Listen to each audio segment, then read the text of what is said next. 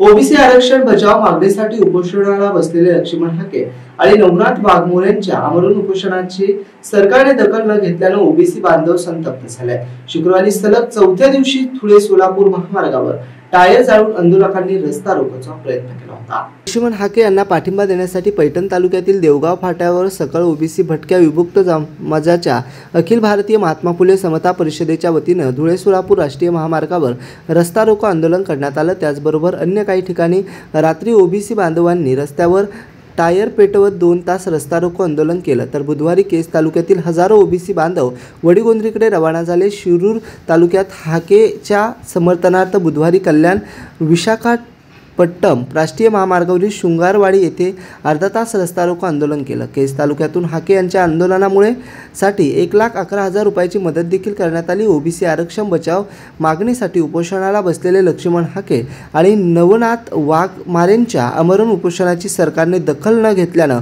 OBC बांधव संतप्त झालेत. शुक्रवारी सलग चौथ्या दिवशी धुळे सोलापूर महामार्गावर टायर चाळून आंदोलकांनी आंदोलन केलंय तर अंबड शहर दिवसभर बंद पाळण्यात आला आणि बुधवारी दिवसभरात पंधरा हजार समाज बांधवांनी वडीगुंद्री येथे भेट देऊन या आंदोलनाला समर्थन दिलं आहे bureau report A I news Chhatrapati Sambhajinagar.